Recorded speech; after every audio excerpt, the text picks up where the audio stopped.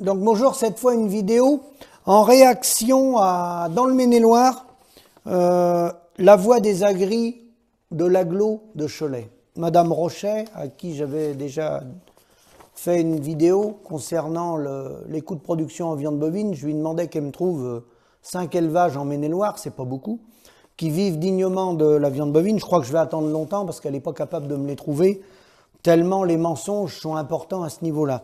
Donc, elle parle du marché de Cholet euh, et elle parle du Covid. Alors non, madame, ça n'a rien à voir avec le Covid. Le marché de Cholet est en baisse et le marché de Cholet finira par disparaître. Pourquoi? C'est la logique euh, normale, validée par l'interprofession, le syndicat et tous vos amis, puisque de toute façon, ça n'a aucun intérêt aujourd'hui d'emmener une partie des animaux sur le marché de Cholet, puisque les négociants en bestiaux perdent leur temps à emmener les animaux sur le marché de Cholet, puisqu'ils les vendent le même prix en les emmenant directement à l'abattoir chez M. Bigard. Donc quel est l'intérêt de passer par le marché? Aucun. Il n'y a que les animaux dits maigres, excusez-moi, c'est un peu technique, qui partent à l'export, qui passent encore par le marché de Cholet. Mais le prix des animaux, il se fait prix abattoir. Donc le marché, à terme, il va disparaître. Alors, parler du Covid, euh, non, parler du Covid, le Covid n'a rien à voir avec euh, la crise, absolument rien à voir.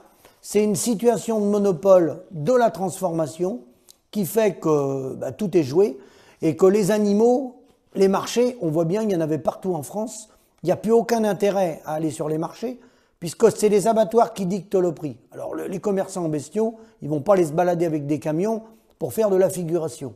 Donc voilà où on en est. Donc le marché aux bestiaux servira à autre chose, parce que la mécanique, elle est enclenchée, c'est sûr qu'il va disparaître.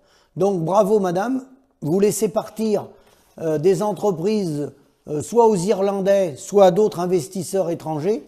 Hein. Le business continue, les éleveurs disparaissent dans le plus grand silence. Non seulement vous faites rien, mais vous cautionnez l'accumulation de la valeur ajoutée dans quelques mains qui sont devenues les premières fortunes de France. C'est grâce à votre accord à vous que ces gens-là peuvent continuer à spolier les gens. Donc bravo madame euh, pour toute la catastrophe que vous générez chaque semaine envers les agriculteurs. Là je parle des éleveurs principalement, bovins viande et vaches laitières.